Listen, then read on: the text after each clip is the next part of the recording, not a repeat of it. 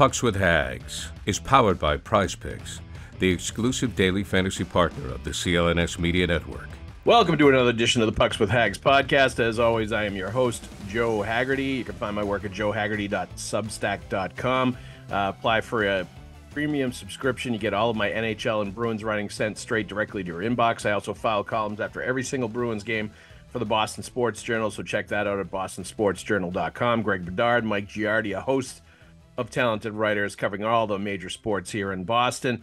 Uh, Pucks with Haggs is powered by Prize Picks, the exclusive daily fantasy partner of the CLNS Media Network. Prize Picks is the largest daily fantasy sports sports platform in North America and the easiest and most exciting way to play daily fantasy sports. Instead of battling thousands of other players that could be pros or sharks, you simply pick more or less than on two to six player stat projections and watch the winnings roll right in. For example, David Pastrnak, you can pick shots on net. Charlie McAvoy, you could pick hits.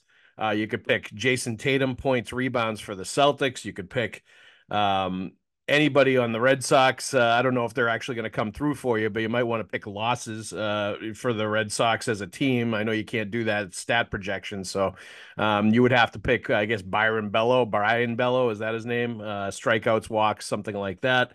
Um, any of that stuff though you pick more or less for uh, statistical categories. It's fun and pretty simple. Download the prize picks app today and use the code clns for a first deposit match of up to $100 that's download the prize picks app today and use the code clns for a first deposit match of up to $100 pick more pick less. It's that easy uh, I would pick less for every single Red Sox player. That's basically what I'm trying to tell you. All right, um, let's move on to the podcast. I believe this is the 77th episode of the Pucks with Haggs podcast, the Ray Bourque episode of the Pucks with Haggs podcast. Um, I will be answering some of your questions. This will be a mailbag edition uh, for the most part. Uh, three to two shootout win for the Bruins over the Capitals on Saturday night. Uh, solid uh, shootout win. Uh, Bruins did a really good job at killing off a Hampus Lindholm double minor high sticking penalty in overtime. Basically, the entirety of overtime, they were shorthanded. Um, they managed to kill off that penalty. Jeremy Swayman made a bunch of saves. Um, they got goals from Lindholm actually uh, during the game, and Johnny Beecher uh, had a nice play unassisted. Um, nice five hole goal after speeding past everybody and scoring, uh, showing his value and and you know, we'll get into this, but I, I, one of the things I really liked about that game against the Capitals was some of the guys that are scratching and clawing and fighting for fourth line jobs right now showed up. Uh, whether it was Beecher scoring that hustle goal, whether it was Jakub Lauko, um, had I think three hits, four blocked shots, and like eight plus minutes of ice time. Uh, less than 10 minutes of ice time. He was in. James James Van Riemsdyk was out. Van Riemsdyk didn't do much of anything uh, in the game that he had played before that and it's starting to feel like uh, at least to start the playoffs jvr might be one of the players on the outside looking in because maybe he's a little banged up maybe he's slowed down a little bit certainly uh, I think he's less effective in a bottom six role than some of these other guys that can bring energy, physicality, all kinds of different things. Guys like Lauko, Beecher, uh, Jesper Boqvist. Um, certainly, Justin Brazeau, I think, is starting to show that he deserves to be in the lineup uh, as well.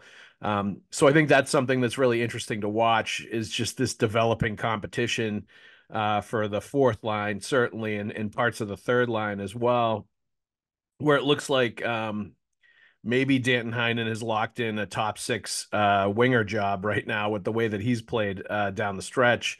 And so that pushes everybody down into these third and fourth line competitions um, you know, skating with guys uh, like Trent Frederic, uh, who is obviously a lock uh, to be on that third line, uh, and Morgan Geekie um, as well, uh, looking like he's locking down that center position on the third line. So um, that stuff's going to be interesting to watch. The biggest thing that I found from that three to two win over the Capitals, though, aside from just getting the win, good win against a team that's hungry in Washington, that's clawing for points, that you know you had to match their intensity and their their willingness to to win and to make plays in order to get the result.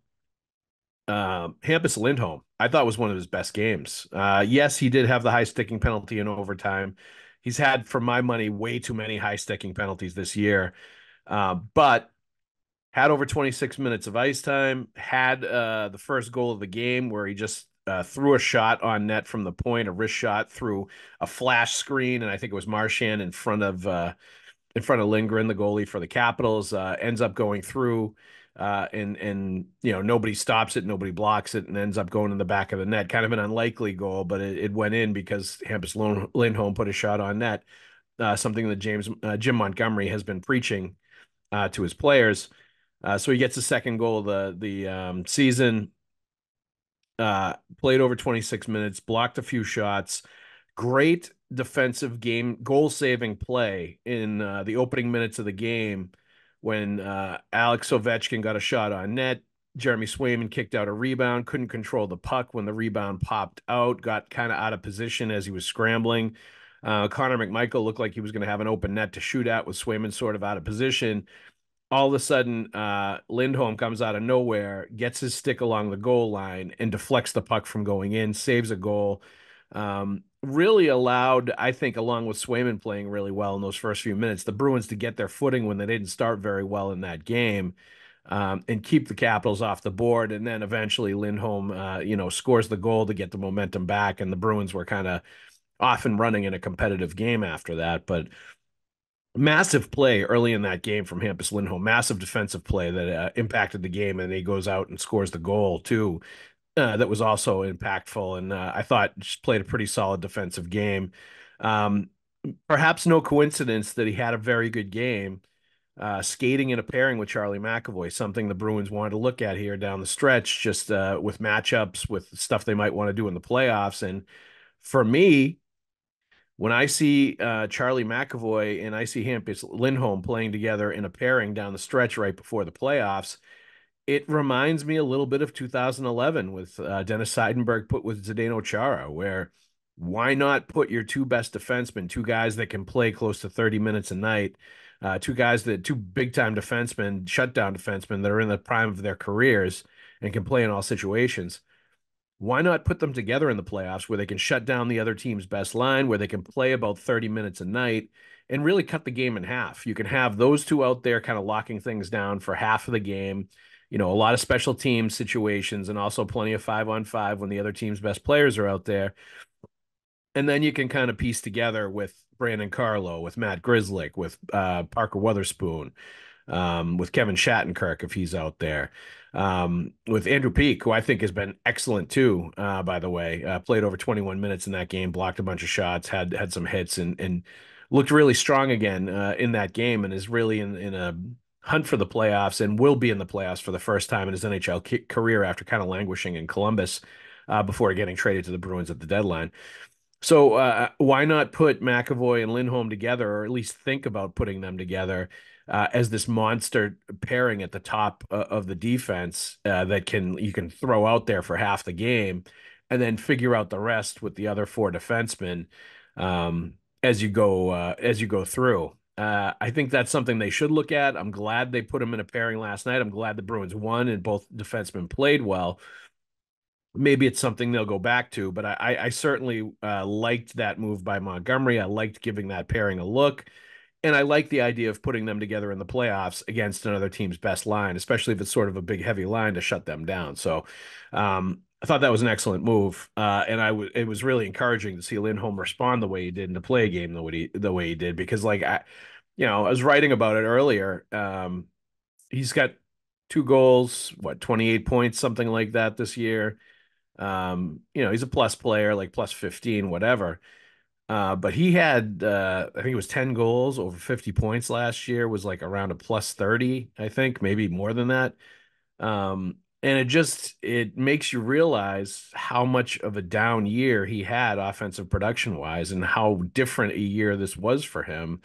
Uh, and I think the changing of the personnel, um, not being as dominant offensively, not playing puck possession in the offensive zone as much as they did the year before, you know, not having the juggernaut offensive team, I think it might have affected Hampus Lindholm more than anybody else on this team as far as what he could bring and how he had to play.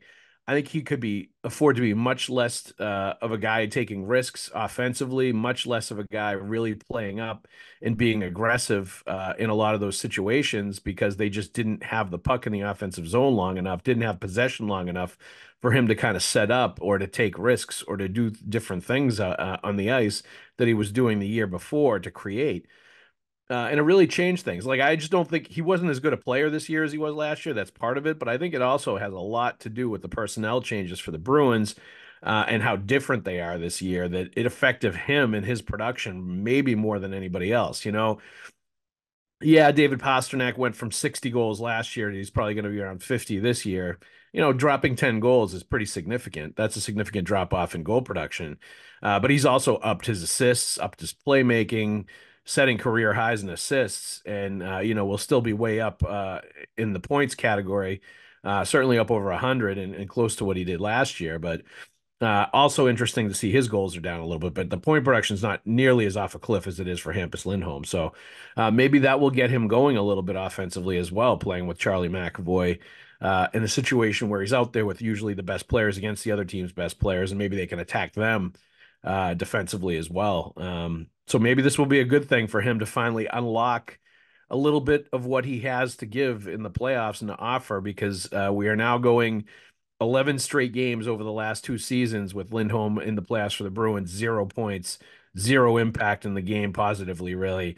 Uh, got hurt in two years ago in Carolina after taking a big hit and and was never the same in that series to uh, this past series, uh, playoff series last year, going against Florida, really being suffocated by that Florida forecheck. No points, no real impact on that series in a positive way, and really struggled uh, against the Florida forecheck. So maybe that can be different this time around if you put him with Charlie McAvoy. All right. Um, let's also give credit uh, quickly. Jeremy Swayman played really well in that game last night. He's been sort of up and down at times. Um, but he's played, and this means something to me. He's played really well in the important games, and he's been given a lot of the important games down the stretch. And that tells me, I think, uh, how the Bruins are planning to use him, think they're still going to use him. He played in both games against Toronto, won those. He played against the Florida Panthers, won that game. He played against the Washington Capitals, another uh, team that will be a playoff team and has played really well down the stretch. Won that game in the shootout. Um, when he's had to and when the competition has been there and when the team has played well in front of him, he's won and he's looked just as good as he did in the first half, even if the post All Star break numbers haven't been as good for him.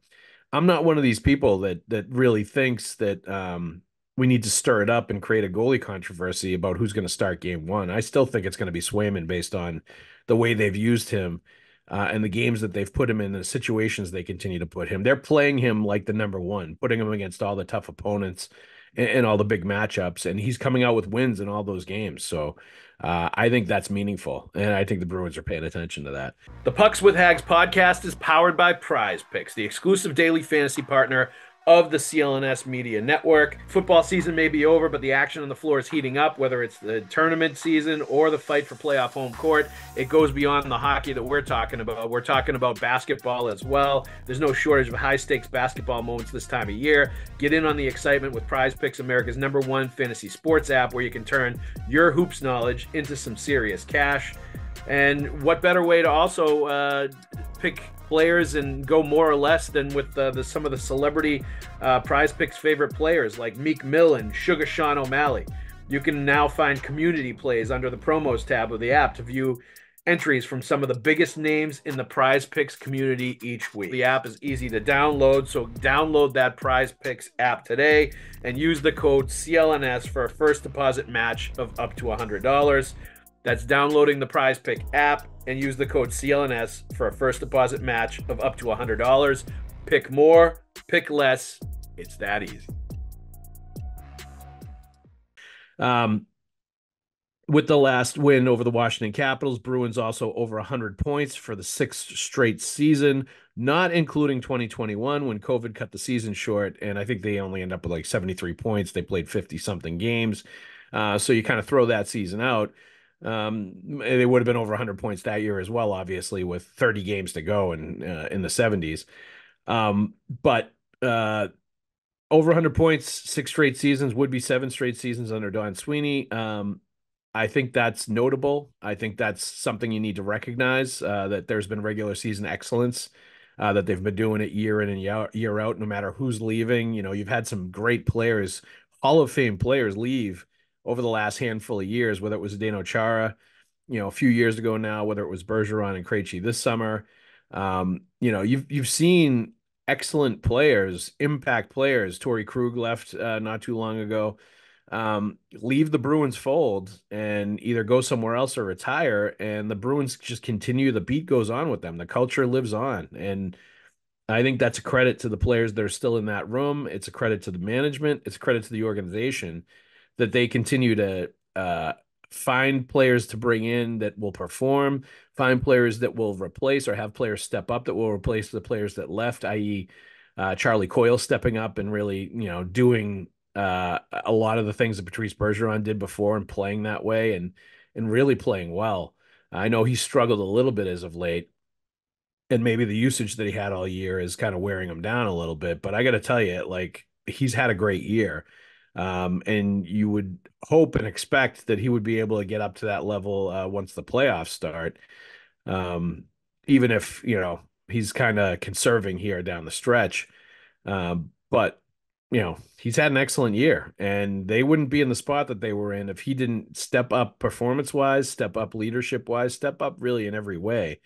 Um, so that's a real credit to him uh, and, and, what he's been able to do. But you, you know, the Bruins would not be able to continue to churn out hundred point seasons and be among the best in the NHL if they didn't have guys like Charlie McAvoy that stepped up when the the time was right and when the call came.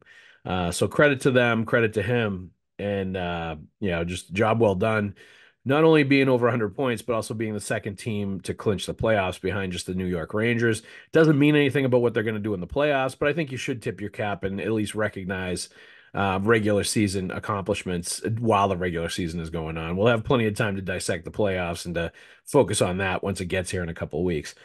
All right, let's answer some questions. Um, hi, Joe.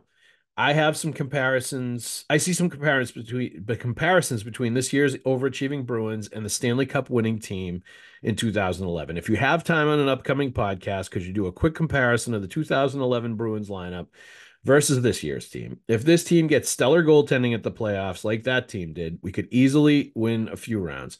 Thank you. Love the podcast. Roger Perry via the Facebook fan page. Thanks, Roger. Glad you like the podcast. This is a really good question. Um, I don't see the parallels uh, between this team and uh, the 2011 team. I got to be honest with you. Um, the goaltending I would say yes. That year they had Tuukka Rask and Tim Thomas, and Tim Thomas was out of his mind excellent that year. I don't think they've had either. You know, Swayman's been an All Star this year. There's no question about it. But I don't think we're talking about Jeremy Swayman uh, as a Vezina Trophy winner like we did that year with Tim Thomas. Tim Thomas had one of the best years during the regular season and during the playoffs of any goalie in NHL history.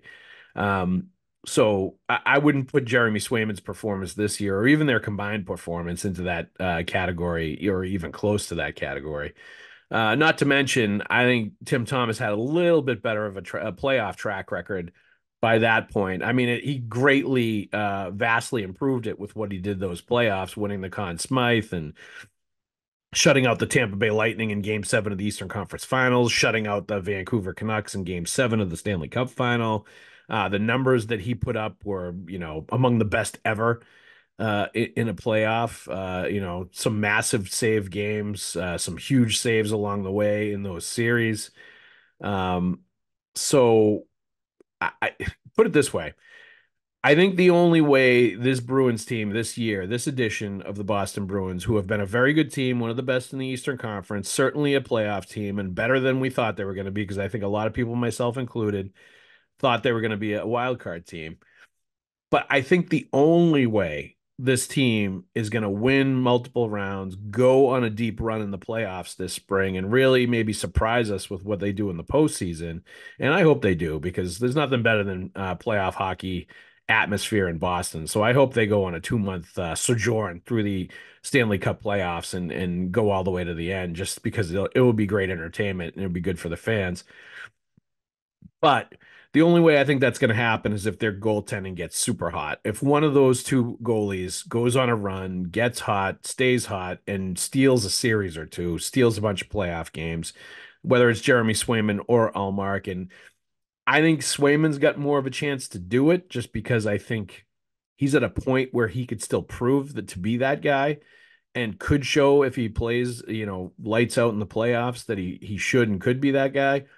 I think Linus Ullmark has had uh, multiple chances to do that now and has shown that he wears down when he's playing game in and game out uh, in the playoffs and starts to I think show signs of fatigue. I think starts to do uh, out of character things in the net, gets too hyperactive, loses some of his technique. Uh, certainly takes risks and does things and makes mistakes that he doesn't need to that lead to like easy goals that the other team score. There were two or three games uh, in that Florida series last year where Ullmark did things that led to very easy goals for Florida that were based on what Ullmark did, the mistake he made, the risk he took, whatever he did um, that's very unlike him because usually he's quiet, smart, economical, doesn't, you know, make a lot of mistakes that are going to give easy chances to the other team. Uh, is just a sound, calm goalie. And I just didn't think he played calm at all in the playoffs. Maybe that was partially Matthew Tkachuk getting in his head. Maybe that was him getting uh, worn down physically and mentally from the strain of, of the playoffs. Whatever it was, I still maintain, and I've said this since last spring, that Jeremy Swayman should have started game five of that first round series against the uh, Florida Panthers when things really like uh, reversed the other way. That's really when the series turned, when they were not able to win game five uh, at home up in the series. Um, and that's where they got into trouble. Um, and, you know, that was the game Patrice Bergeron came back. That was the game uh, Brad Marchand couldn't finish off uh, a breakaway at the very end uh, that could have clinched the series. And uh, like, let's be honest, Patrice Bergeron was banged up. His back was hurt. They were not going to win the cup last year, I don't think, anyway. I think they were probably going to lose in the second round, regardless of what happened against the Panthers, just because they were a banged up unit. A lot of guys were hurt. Um, but I think the easy second guess, an easy thing that they should have done differently was to rest Linus Ullmark in game five, put Swayman in, put him in a less pressure situation than throwing him into game seven of that series, which was a really tough spot to put him in. But uh, all that being said, I, think you're onto something with the goaltending because I think that's the only way, um, Roger, that the Bruins are going to win um, a multiple playoff rounds this spring and potentially go on a deep run that could get them the conference final, Stanley Cup final, whatever. Um, I don't think they are I think they are capable of winning a first round series based on their talent, based on the you know the level of play that they've been at, uh, based on the matchup. Some of the teams they might play, whether it's the Capitals, the Islanders, the the Leafs, the Red Wings. Um, certainly, I think the Lightning would give them problems if that ends up being their first round opponent. I I wouldn't favor them uh, in, a, in a, that kind of a series. I think they would have trouble with them. Uh, but but I think there's some very winnable opponents in that first round for the Boston Bruins. The problem becomes as you advance deeper into the playoffs, uh, better teams that you're playing, more apt and able to expose your weaknesses. I think there are some weaknesses on this Bruins team and on this roster this year. I don't think it's anywhere close to as uh, you know a juggernaut with few weaknesses like last year's uh, roster was going into the postseason and going into the playoffs. They just couldn't address every issue they had in the roster at the trade deadline based on their salary cap situation and based on the lack of assets that they had to trade. So they added, you know, Pat Maroon and Andrew Peeke. They had some toughness, some physicality, some heaviness, which they definitely needed, but they, they could have had more. Uh, they certainly could have used a center uh, that could win faceoffs, even though Johnny Beecher's done a serviceable job there. Um, they, I think, could have used another top six winger so they don't have to put Danton Heinen in that position. I think he'd be much better off as a third line winger uh, on this team and and have somebody else that would be a legit goal scoring top six kind of winger to put with some of the other skill players. But they're they're doing the best they can. They, this Bruins team has got I think five guys that are under eight hundred thousand a year contract wise uh, for the season, basically on the veteran minimum. Uh, that's that's amazing that they were able they they've operated with that many guys uh, making basically the veteran minimum on that NHL roster and still gotten 100 points this year and been one of the best teams. I think that speaks to how good their good play their best players have been, but also like uh, them scouting the right players, getting good fits, getting uh, great seasons out of a lot of guys that you know um, had to sign very modest contracts to, uh, to play on this Bruins team. Um, and, and, you know really help them get through a season where the salary cap was going to be an issue and i think they've navigated that actually very well uh, given all the challenges that, that they had and you can sit here and say yeah that's don sweeney's um, you know fault whatever uh, the salary cap troubles the cap penalties they had to pay for bergeron and Krejci's contracts last year of course uh, the buck always stops with the gm but like I didn't hear many people complaining last year when the Bruins went for it when they signed the Bergeron and Krejci to incentive laden deals for one more, you know, that last dance. Um, when they they maxed out with uh, all the trades that they made, bringing in Dmitry Orlov, Garnett Hathaway, Tyler Bertuzzi, like uh, keeping all the players that they did um, for that team last year. There were no complaints at the time. That's what they wanted to do. That's what they had to do. They knew it was Bergeron's last year, and they were trying to win it with him there. Uh, and they didn't. They disappointed and they went out in the first round. But I, am not going to fault them ever for going for it and then having to say the, pay the salary cap piper um, this year uh, after going for it last year. I think that's just part of competing and going for it is the price you pay. Uh, but getting back, uh, Roger, to your question about the 2011 team, the one thing I would say that's very different. Uh, well, first of all, center play, right? Um, you had Bergeron and Krejci in their prime in 2011 as your top two centers. Um, you know, Pavel Zacha and Charlie Coyle are excellent. They've been done very well this year. They I think they've gotten the most out of their abilities. They're both going to end up with 20 goal seasons. They've both been pretty productive. I, and I think that done the best they can, but they are by no means the same kind of presence presences that Bergeron and Krejci were as top six centers on that team. So, you know, they don't really have the makeup, I think, as far as that goes, uh, built around the, their top two centers. Uh, you know, basically the whole team was built around that and their number one D in Zdeno Chara.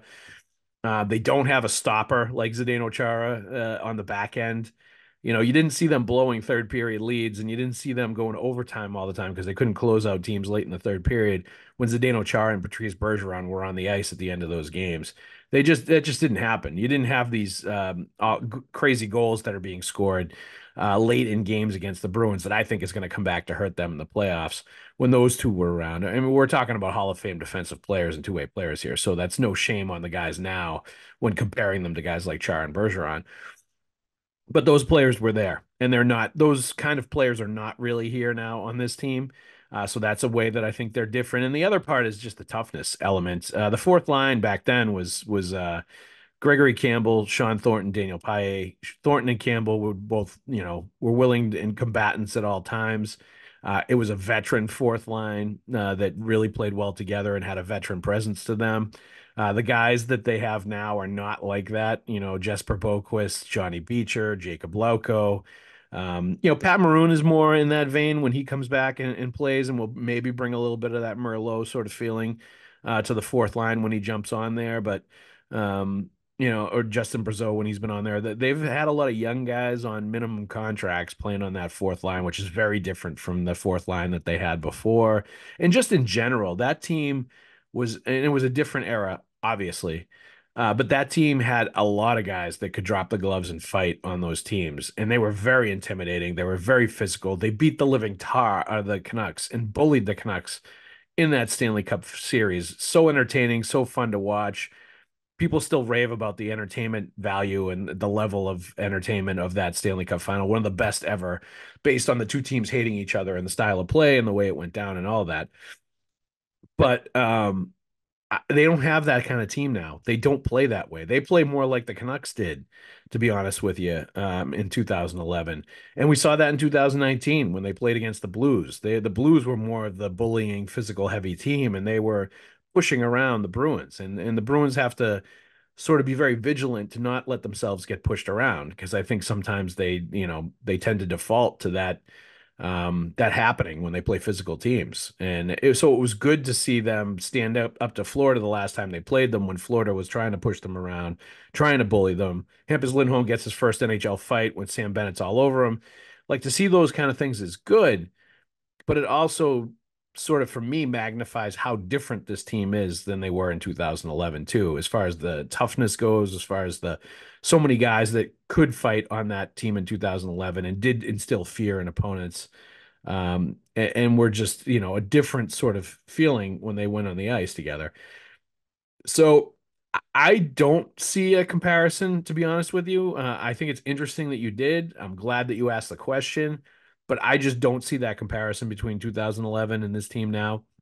Not only because Brad Marchand's the only holdover from that team that's on this team, but just because I just don't think they play the same way. I don't think it's the same kind of makeup of team. Uh, the only area where I would say, and you mentioned it, is you know maybe the goaltending could provide that level of goaltending uh, to help them win, and, and it would have to. Their, their goaltenders are going to have to be out of their minds. Linus Ullmark and Jeremy Swayman are going to have to be um, hot and and playing at an elite level right out of the gate if the Bruins are going to you know roll for two months and win the cup. And uh, you know that's something that in the Bruins would not have won in 2011 if Tim Thomas wasn't you know the best goalie in the world and having one of the best goalie seasons of all time in the NHL. So that part of it, I'm with you, um, Roger. But I love the question. I think it was a great one. Thanks. Uh, feel free to send us questions anytime. Glad glad you like the podcast, and uh, we'll keep on cranking them out for you. All right. Hi, Joe. I am sorry to hear about uh, Derek Forbort's dog, Darla. Uh, Derek Forbort's dog, Darla, passed away last week. Very sad. Um, thoughts are with uh, Derek and uh, the uh, people, his friends that he had taking care of Darla when he was on the road. Uh, I am a dog lover and can relate with having to let them go to doggy heaven. Uh, that's ag- at Magnus Shelty on uh, Twitter. Me too. Um, I am a firm believer, and I've heard this you know, it's a cliche, but it's true. Um, the only bad day in a dog owner's life will be the the last day that the dog is alive. You know, and when uh, the dog passes away, it has to be put to sleep, like whatever the situation is. Um, it's it's sad, and there's no question about it. And that's why your heart goes out to somebody like Derek Forbort in a situation like this, especially when it's been an older dog that you've had for a long time. Um, it is really tough, and it's just like losing a person, you know. And it's uh, I have young kids and I have older dogs right now, and you know they've had some health issues, and there's been times when you know you weren't sure if they were going to get pulled through or not, and this is the first time the kids have really had to sort of deal with that situation, and to see it through their eyes, to see how upset they get, uh, it reminds you just how much it shatters you. Uh, when you lose your dog. So uh, thoughts go out to Derek Forbort. I hope you're doing okay with uh, Darla's passing and uh, you're not missing her too much. I'm sure you're missing her a ton though. And uh, you know, I'm sure and when the time is right, you'll end up uh, finding another dog to take care of. Maybe won't be as beloved as Darla, but uh, that time will come, I'm sure. So uh, my thoughts are with you, Derek Forbort, on the the passing of Darla, and I know Bruins uh, Nation is very sad about it as well. I'm sure they've sent you plenty of uh, messages to make you feel good because a lot of people, I think, got a lot of enjoyment out of your stories, your pictures, uh, everything you had with your dog, the relationship you had with your dog. I think it hit home with a lot of people. So. All right, uh, let's move on to the next one. Uh, Joe, do you really think the way they've constructed, uh, the way they're constructed, they can hang in a seven game series with a heavy team? That's from uh, SME Great. Uh, do I think they can hang with a heavy team? Yes, I do think they can hang with a heavy team. Do I think they can beat a heavy team in a seven game series? Mm, I don't know. I'm not sure about that. I still do not think after watching those Florida games that if they are matched up with uh, them for a seven game series that um, that it's going to go any different than it did. I, I just think when you see them against the Florida Panthers, who are a fast, tough, physical, just dedicated team uh, that knows who they are, knows how they want to play, is going to punch you in the face and keep punching you and try to wear you down over a playoff series.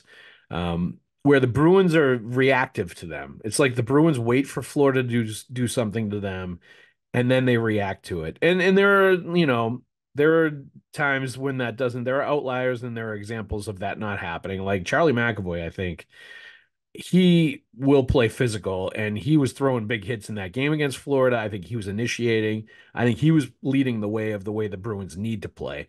I just think more people need to follow Charlie McAvoy's lead, and he can't be the one that's constantly doing it. And Marchand too, same thing.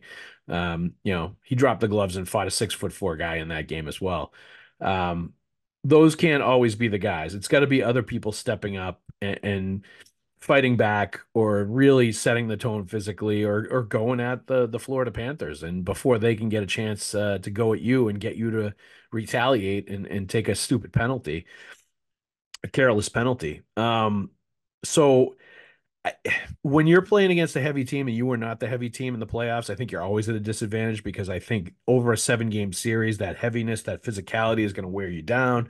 Uh, it's going to make your defensemen start to hear footsteps. It's going to get you uh, to start losing battles in front of your own net. It's going to knock players out of the series. It's going to make guys tentative, um, you know, going in full bore for pucks.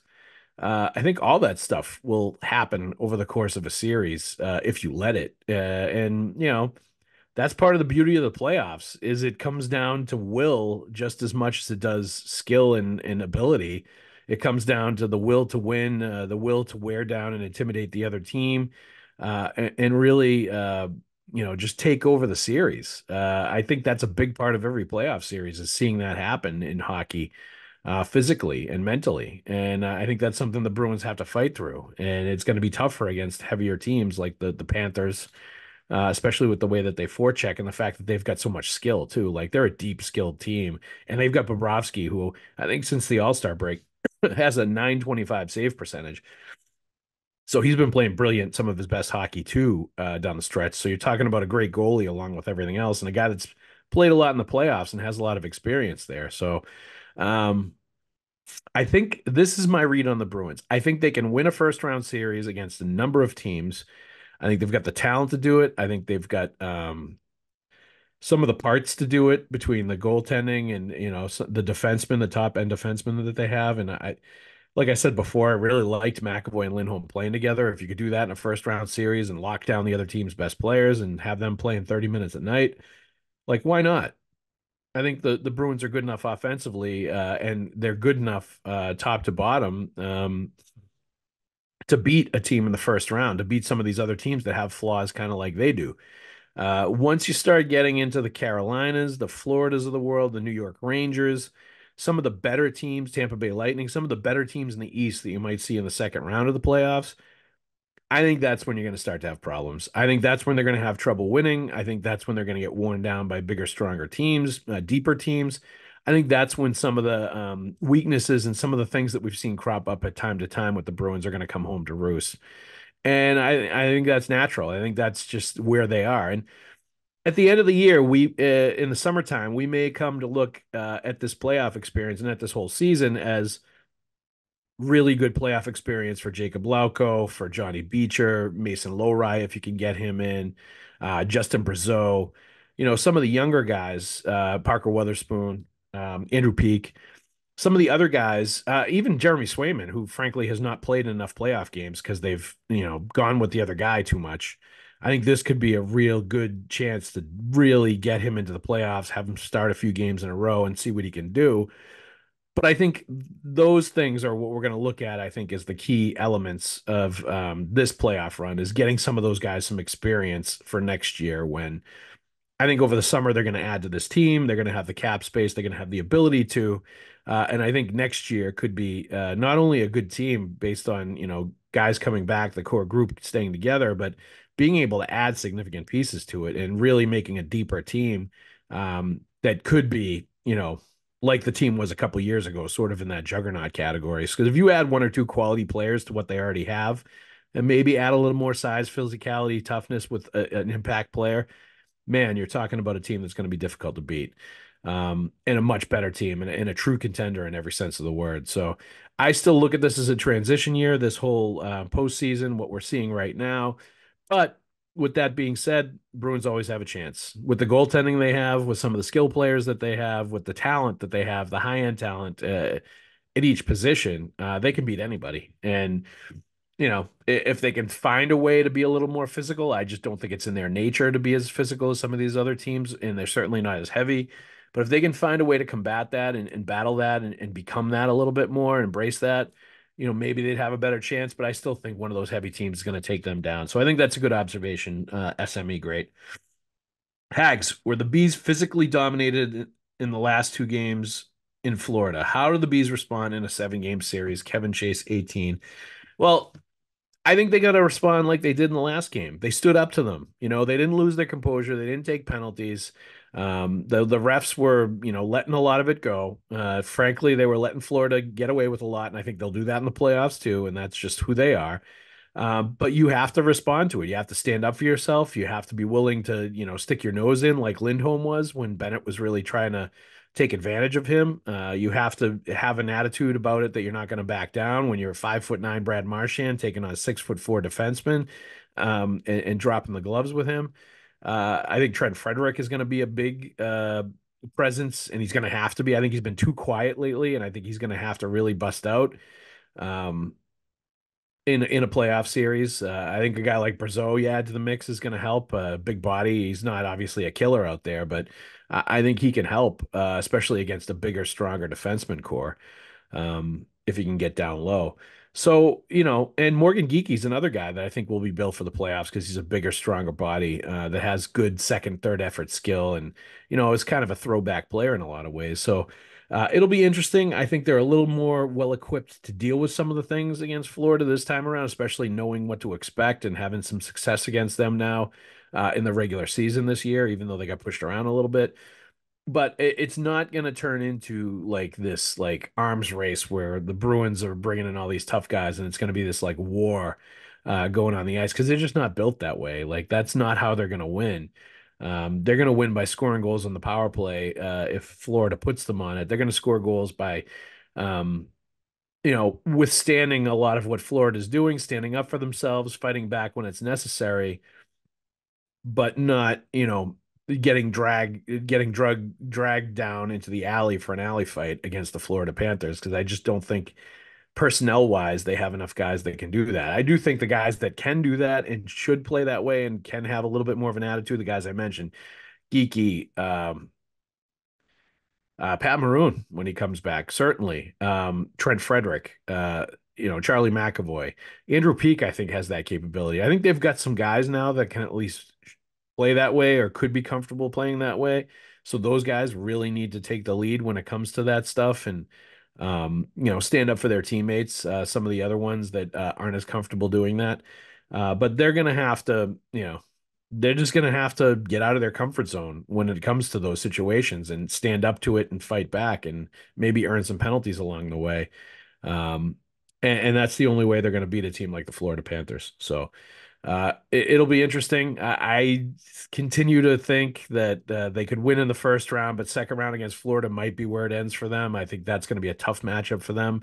Uh, but the road, I think, to the Stanley Cup final is going to go through Fort Lauderdale. They're going to have to beat that Panthers bully, and they should have to, frankly, if they're going to advance deep into the playoffs. So, uh, you know, the games have been entertaining. That last game in Florida was fun. Uh, it was full of passion, uh, and it felt like a playoff game. So it'll be an entertaining series at the very least. So that'll be good.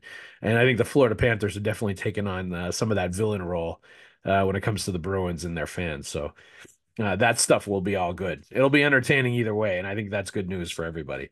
Um, all right, that's it for this week's show. Thanks for listening. let's thank PrizePicks the largest daily fantasy sports platform in North America, easiest and most exciting way to play daily fantasy sports. It's just you against the numbers. Instead of battling thousands of other players, including pros and sharks, you pick more or less than on two to six player stat projections and watch the winnings roll in. Uh, testing your skills on pros PrizePicks this season is the most exciting way to play daily fantasy sports. If you have the skills, you can turn $10 into a thousand with just a few taps. It's really simple to play. You can make your picks and submit your entries in less than 60 seconds. Quick withdrawals, easy gameplay, an enormous selection of players and stat types or what prize what make PrizePicks the number one daily fantasy sports app. Um, so, you know, if you haven't tried it out yet, I think you really should. Um, it's a lot of fun. I, I think it's it's a, a, beautiful way to merge fantasy sports with uh, you know, being able to turn ten dollars into a thousand dollars. Who doesn't want to do that?